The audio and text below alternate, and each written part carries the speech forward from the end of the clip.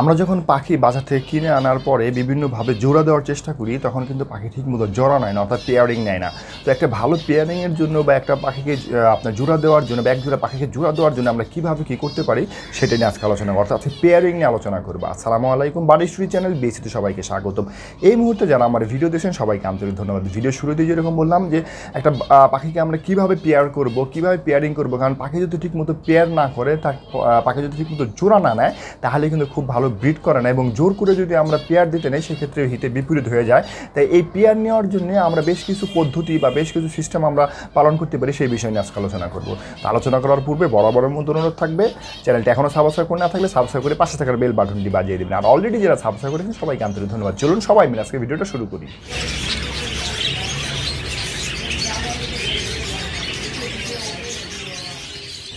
যে কোনো পাখি জোড়া দেওয়ার ক্ষেত্রে দুটো কমন ফ্যাক্টর আছে বা দুটা খুবই গুরুত্বপূর্ণ বিষয়বস্তু আছে যেগুলো নিয়ে আমাদেরকে চিন্তা ভাবনা করতে হয়। অর্থাৎ পাখিকে যখন আমরা জোড়া দেওয়ার চিন্তা ভাবনা করব, তখন আমাদের এই দুইটা বিষয়কে খুব বেশিভাবে আপনার কি ব্রেনে রাখতে হবে। অর্থাৎ দেখা যায় যে আমরা বেশিরভাগ ক্ষেত্রে পাখি ছোট অবস্থায় পাখিদেরকে এনে দেই, এনে খাঁচার মধ্যে ঢুকাই দিই এবং জোড়া দেওয়ার জন্য বলে যে, এখন পাখিতে জোড়া দেবে বা ই করবে, ডিম পারবে। কিন্তু আসলে আপনাদের কিন্তু তা হয় না। কেন হয় না?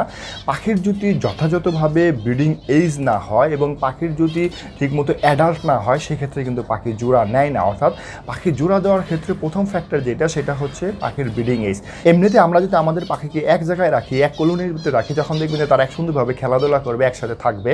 কিন্তু পাখি কিন্তু ঠিকমতো জোড়া নেবে না। যদি না, তাদের ব্রিডিং এজ কমপ্লিট হয়ে যায় বা তাদের যথাযথ বয়স কমপ্লিট না হয়। তাই আপনার জোড়া দেওয়ার প্রথম শর্ত হচ্ছে পাখিকে ব্রিডিং এজ কমপ্লিট হতে হবে বা পাখিকে অ্যাডাল্ট হতে হবে। এই এই পাখির যদি বয়স ঠিক থাকে, তাহলে পাখি খুব সহজেই জোড়া নিয়ে নেবে। দুই নম্বর যে ফ্যাক্টরটা আছে পাখি জোড়া দেওয়ার সেটা হচ্ছে পাখির স্বাস্থ্য। যে পাখি যদি হেলদি না থাকে, পাখি যদি ফিট না থাকে, সেক্ষেত্রে কিন্তু পাখি কিন্তু জোড়া নেবে না।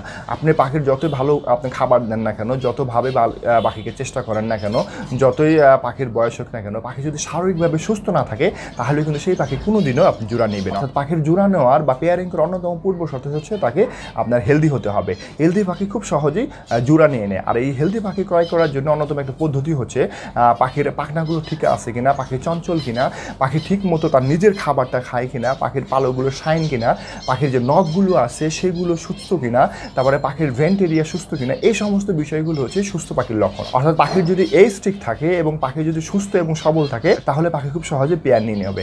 এখন দেখি আমরা পাখিকে পেয়ার করার জন্যে আমরা তিনটা পদ্ধতি অ্যাপ্লাই করতে পারি। যে পদ্ধতি অ্যাপ্লাইয়ের মাধ্যমে আমরা আমাদের পাখিকে খুব সহজে জোড়া দিতে পারি। তো সেই কীভাবে জোড়া দেবো সেইটা বলার পূর্বে, যারা ভিডিওটা এখন লাইক করেনি লাইক করে দেখতে থাকুন আর চ্যানেলে যদি নতুন হয়ে থাকেন সাবস্ক্রাইব করে পাশে থাকার বেল বাটনটি বাজিয়ে দেবেন, এতে করে এই ধরনের ইনফরমেটিভ ভিডিও আপনাদের কাছে চলে যাবে। প্রথম যে পদ্ধতি আছে, সেটা হচ্ছে সেপারেট কেজ জি, আমরা অনেক ক্ষেত্রে আছি যারা আমরা সেপারেট কেজে আপনার পাখি পালন করে থাকি এবং বিভিন্ন পাখি বিভিন্নভাবে আমরা বিভিন্ন সাইজের কেজে দিয়ে থাকি। আর এই কেজ সাইজ রিলেটেড ভিডিও আমার কাছে অ্যাভেলেবেল আছে, আমি ডিসক্রিপশন এবং আই বাটনের লিঙ্ক দিয়ে দিচ্ছি, আপনারা দেখে নেবেন। তো পাখিকে যখন আমরা জোড়া দিব, তখন আমরা সেপারেট কেজ করে পাখিকে জোড়া দিতে পারি। দেখা গেছে একটা ছেলে এবং মেয়ে কনফার্ম করে মেল ফিমেল কনফার্ম করে সুন্দরভাবে একটা খাঁচার মধ্যে দিয়ে দিলাম। পাখি যখন নাকি সেই খাঁচায় যাবে তখন একে অপরকে যখন দেখবে তখন তারা খুব সহজেই জোড়া নিয়ে নেবে। আর এই জোড়া নেওয়ার লক্ষণটা হচ্ছে এই সমস্ত পাখিগুলো খাবার এক্সচেঞ্জ করে তারা খাবার এক্সচেঞ্জ করবে ঠোঁটে ঠোঁট মিলাবে। এছাড়া যে সমস্ত পাখিগুলো খাবার এক্সচেঞ্জ নাও করে তাদের জোড়া নেওয়ার পদ্ধতি বা জোড়া নেওয়ার যে লক্ষণ সেটা হচ্ছে তাদের যে ঘাড়ের এখানে যে পশমগুলো আছে সেগুলো নিজেরা তাদের পশমকে এরকমভাবে চুলকিয়ে দেবে আদর করে দেবে এবং তারা সারাক্ষণ পাশাপাশি বসে থাকার চেষ্টা করবে। তো স্পেশাল একটা পাখি আছে ইকলেকটাস যে পাখিগুলো জোড়া নিলেও দূরে থাকে। এছাড়া অন্য যে কোনো পাখি জোড়া নিলে কিন্তু পাশাপাশি থাকে এবং একে অপরের খাবার এক্সচেঞ্জ করে পালকগুলো সুন্দরভাবে চুলকে দেয় আপনার ময়লাগুলো পরিষ্কার করে দেয় বা বিভিন্ন ধরনের খুনটুসি করে যা দেখলেই আমরা খুব সহজেই বুঝতে পারি যে পাখি জোড়া নিয়ে নিয়েছে।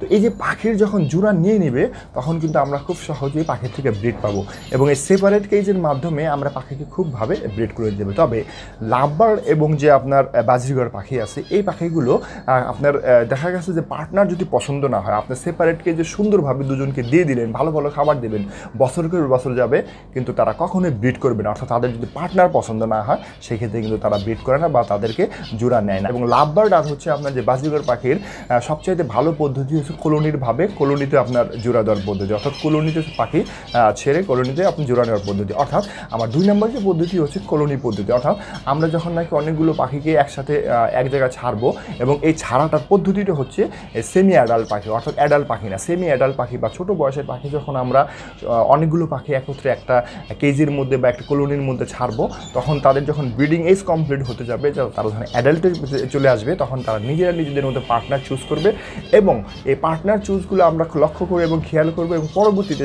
তাদেরকে ধরে ধরে আলাদা আলাদা কেজে আমরা ব্রিডিং করতে দিব। অর্থাৎ এই কলোনির মাধ্যমে সমস্ত পাখিগুলোকে ছেড়েও আমরা বন্ডিং পেয়ার তৈরি করতে পারি। তিন নম্বর যে পদ্ধতিটা আছে, সেটা হচ্ছে সেপারেট বার্ড অর্থাৎ মেল এবং ফিমেলকে সেপারেট করে দেওয়া। আপনারা যখন নাকি দেখবেন ব্রিডিং এ চলে আসছে এবং পাখি যখন নাকি তারপরে ব্রিড নিচ্ছে না, তখন এই পাখিকে আপনার জোড়া দেওয়ার বা পেয়ারিং করার একটা সবচাইতে উত্তম পদ্ধতি এবং সবচাইতে ভালো পদ্ধতি যেটা আমি ব্যক্তিগতভাবে করে থাকি সেটা হচ্ছে বার্ড সেপারেট করে দেওয়া অর্থাৎ তাদেরকে আলাদা করে দেওয়া। আর এই যে সেপারেট সিস্টেমটা হচ্ছে, আপনি যে খাঁচায় ডিম বাচ্চা করাবেন অর্থাৎ ব্রিডিং করাবেন, সেই খাঁচাতে মেল রাখতে হয় এবং ফিমেলকে অন্য একটা খাঁচায় তার চোখের আড়ালে রাখতে হয়, তার নিচের দিকে বা অন্য কোথাও সরায় রাখতে হয় যাতে সেই পাখিটা একলা থাকে, একাকিত্ব থাকে এবং নিজের লোনলিনেস আপনার ফিল করে। পরবর্তীতে সেই পাখিটাকে, অর্থাৎ যে ফিমেল আপনি তার সাথে দিবেন, তাকে পাশাপাশি খাঁচায় রেখে দিবেন। কিন্তু তখনও তাদেরকে একসাথে করে দিবেন না। তাদের সাথে শুধুমাত্র মাঝখানে একটা আপনার জাস্ট জালি লাগা থাকবে। দেখবেন যে সেই মেল এবং ফিমেল একে অপরের সাথে ঠোঁট মিলাচ্ছে, খাবার এক্সচেঞ্জ করার চেষ্টা করতেছে এবং জোড়া নেওয়ার চেষ্টা করতেছে। তার ঠিক পাঁচ থেকে সাত দিন পরে যখন আপনি তাদেরকে একে আরেকজনের খাঁচায় এনে দেবেন, অর্থাৎ ফিমেলকে মেলের খাঁচায় দেবেন। ফিমেলকে সে খুব তাড়াতাড়ি আপনার নিজে গ্রহণ করে নেবে। মেল ফিমেলকে গ্রহণ করবে ফিমেল মেলকে গ্রহণ করে খুব দ্রুত তাদের মধ্যে বন্ডিং পেয়ার হয়ে যাবে এবং ব্রিড করে দেবে। অর্থাৎ পাখিকে সেপারেট করে যে পেয়ার করার পদ্ধতি, এটা হচ্ছে সবচেয়ে উত্তম পদ্ধতি এবং এইভাবেই বড় বড় ব্রিডাররা দেখবেন এইভাবেই সুন্দরভাবে পেয়ার করে ভালোভাবে ব্রিড নেয় এবং সুন্দরভাবে ব্রিড নেয়। এছাড়াও পাখি পেয়ার করার ক্ষেত্রে বা পাখি পেয়ারের ক্ষেত্রে আরও যে সমস্ত বিষয়গুলো আপনার লক্ষ্য রাখতে হয়, সেটা হচ্ছে নীরব, নিরিবিলি পরিবেশ। তারপর আপনার কোথাও যাতে কোনো রকম আপনার গ্যাঞ্জাম না থাকে, অর্থাৎ ইঁদুর বিড়ালের সমস্যা, মানুষ যাতায়াত করে, আপনার ঘন ঘন মানুষ দেখতে আসে, এই ধরনের অবস্থাতেও কিন্তু পাখি আপনার পেয়ার নিতে চায় না এবং তাই পেয়ার নেওয়ার ক্ষেত্রেও পাখিকে সুন্দর পরিবেশ দিতে এবং কিছু কিছু পাখি আছে, দেখবেন যে মানুষের সামনে মিটিং করতেছে, মানুষের সামনে ডিম বাচ্চা করতেছে, মানুষের সামনেই খাবার খাওয়াচ্ছে। এই ধরনের পেয়ার খুবই রেয়ার পাওয়া যায়। এমনিতেই পাখিকে যদি আমরা নীরব নিরিবিলি পরিবেশ দিই, তাহলে পাখি খুব সহজে পেয়ারিং করে বিট করে। আর পাখি যদি আপনার পেয়ার না করতে চায়, তাহলে আমার এই ভিডিও বর্ণিত যদি আপনারা যে পদ্ধতি, সেগুলো আপনারা অ্যাপ্লাই করতে পারেন, তাহলে পাখি খুব সহজেই পেয়ার নিয়ে ব্রিড করবে।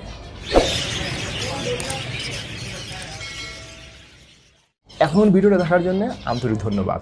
আজকের মতো ভিডিওটা এই পর্যন্ত। আশা করি ভিডিওটা আপনাদের ভালো লাগছে। ভালো লাগলে লাইক করবেন, শেয়ার করবেন। চ্যানেলে নতুন হয়ে থাকলে সাবস্ক্রাইব করে পাশে থাকার বেল বাটনটি বাজিয়ে দিবেন। আর যদি আপনি সোশ্যাল মিডিয়া জয়েন না করে থাকেন ডেসক্রিপশনে লিঙ্ক দেওয়া আছে। এখনই জয়েন করে দিন। দেখা হচ্ছে নতুন আর একটা ভিডিও নিয়ে। ততক্ষণ ভালো থাকবেন, ভালো রাখবেন আপনাদের পাখিকে। টাটা বাই বাই আসসালামু আলাইকুম।